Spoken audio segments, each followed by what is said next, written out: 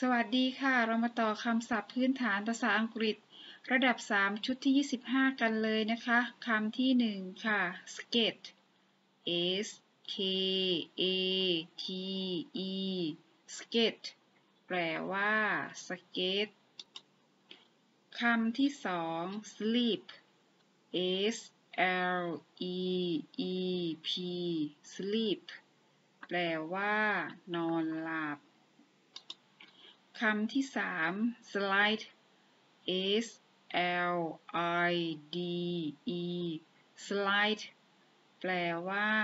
ลื่น ถลายคำที่สี่ smile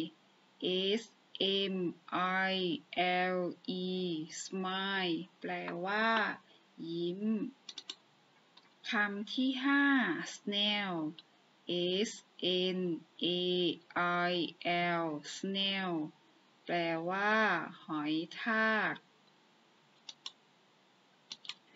รวมศัพท์ 5 คำระดับ 3 ชุดที่ 25 นะคะ skate skate sleep นอนหลับ slide ลื่น ถลาย